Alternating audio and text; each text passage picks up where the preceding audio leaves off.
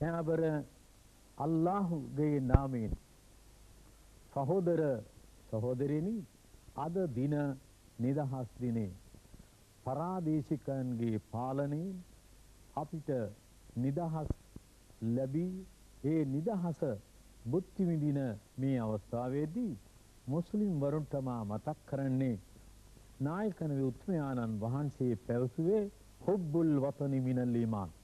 මව්බිම ආලය කිරීම ඔබගේ විශ්වාසයෙන් කොටසක් බවයි මව්බිම ආලය කිරීමේ තේරුම මව්බිමේ ජීවත් වෙන සෑම ජාතීන් අතරම සෑම ආගමිකයන් අතරම නියම නිදහස් ලීලාවෙන් කාලය ගත කිරීම.